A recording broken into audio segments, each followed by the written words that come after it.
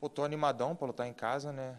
É a primeira vez que eu vou lutar aqui no Rio, minha família vai estar assistindo, minha, minha mãe vai estar no, no evento, meu pai, né?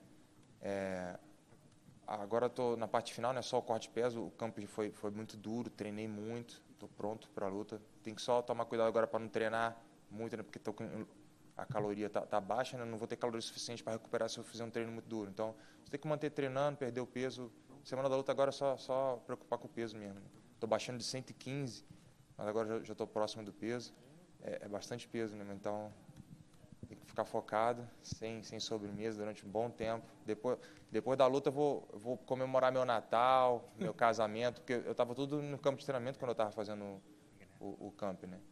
Eu estava em camp, aí eu fiz meu casamento dia 1 de dezembro, não pude beber, não pude comer muito. Natal também estava em camp, não pude comer aquelas delícias que a gente gosta de comer no Natal, né? Focado na dieta. Então, meu Natal e minha despedida, é, minha lua de mel vai ser depois da luta. É muito importante, né, essa luta. Essa vitória contra o Bianco Telaba foi muito importante para mim. Mostrou o quanto eu evoluí, o quanto eu posso usar todos os meus jogos, né, jogo de, de, de chão, jogo de, de queda, usar todo, todo o meu jogo, tudo que eu sei eu posso, vou usar agora, né, porque sou lutador de MMA, tem que ser completo. Então, estou mais animado agora porque eu sou um cara mais experiente, aprendi com todos os erros, né, Estou mais confiante do que a última luta, porque eu estou fazendo um, um, ótimo, um excelente trabalho com o meu treinador lá na Irlanda. Então, estou muito confiante. que, Mas eu não estou com pressa nenhuma de, de sair escalando no ranking. Né?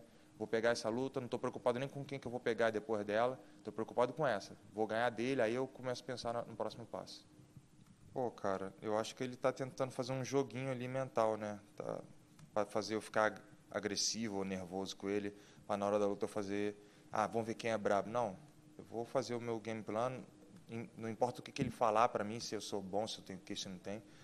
Eu vou manter a luta calma ali, vou ser igual um sniper, tá ligado? Porque o, o, o perigo dele é quando os adversários acham que está ganhando, fica muito agressivo e comete o, os erros, né? Aí ele vai, pega no triângulo, ou, ou, bota o cara para baixo, né?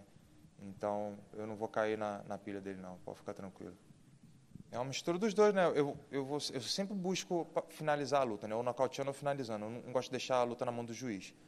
E eu, eu fico, cada vez que passa, cada vez que luta, eu aprendo mais, eu fico mais maduro, então eu sei aonde eu vou poder jogar, né? É claro que, que ele é um especialista de jiu-jitsu, eu sei o que ele vai fazer, né? Eu também sou especialista em jiu-jitsu, então se ele demole um braço, um pescoço, eu vou levar para casa também. Eu posso esperar que eu sou um, um lutador mais completo. É, eu quero mostrar meu trabalho para para todo mundo, como estou evoluindo bastante todo, todos os tempos. E a luta, sei que vai ser uma luta dura, mas estou pronto. Ah, eu acredito que o diferencial do meu jogo é que eu sou um lutador mais completo que ele, porque eu, eu tenho jiu-jitsu, tenho parte de trocação também, defendo queda bem, quedo bem, então acho que sou um lutador mais completo. Então, as chances de, de, de, de, uma, de a luta ser para o meu lado é muito maior, porque eu tenho mais armas para usar contra ele. Com certeza, eu, eu, assisti todas as lutas dele, né, vi o que, que ele era bom e, e, todos os meus parceiros de treino fizeram o jogo que ele provavelmente ia fazer comigo. E, claro, se ele fizer um jogo diferente, eu também estou pronto. Se ele for trocar sua porrada, eu estou pronto para trocar sua porrada também, mas posso botar ele para baixo também, mas eu não, eu não vou jogar o jogo dele, cara. Eu não vou fazer eu não vou dar mole para ele, não vou, não vou entrar na, na, guarda dele. O único perigo dele é na guarda, muito perigo. Né? Com certeza ele chuta também, ele soca, mas o, o que ele tem mais perigo é na guarda. Eu só não entrar na guarda dele. Se eu tiver na guarda dele, se ele por acaso tentar botar para baixo, que é o que vai acontecer, e eu defender a queda, ele vai agarrar meu braço e vai puxar para a guarda. É só ficar tranquilo ali, ver o que ele vai fazer, entendeu? Usar o jiu-jitsu que eu tenho, levantar e bater nele de novo, em pé. Ah, com certeza, né, a categoria é bem aberta, porque o UFC e os fãs gostam de lutadores que, que, que ganhem luta, que vende luta, né? que, que dá porrada, que finaliza. Então eu sou um desses lutadores, então com certeza uma, duas ou três vitórias vai me botar no, na, na boca do, do, do cinturão de novo. Finalizando? Valeu, galera. Tenha um bom dia.